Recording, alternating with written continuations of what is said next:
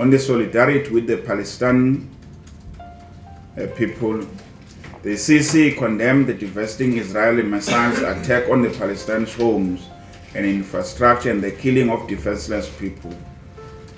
According to the Gaza authorities, some 5,000 homes have been completely demolished in 22 days of Israel attack, while over 26,000 have been damaged.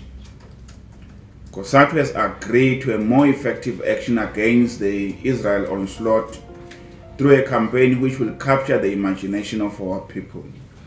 This campaign will include a big march directed at the Israel ambassador in South Africa and for the recalling of the South African ambassador from Israel.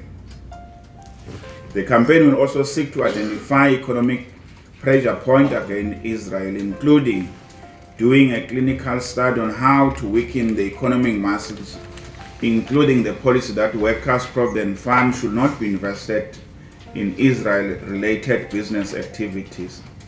A list of businesses to be targeted will be developed and a call to boycott to those will be made throughout educational campaign which will be circulated to all our affiliates.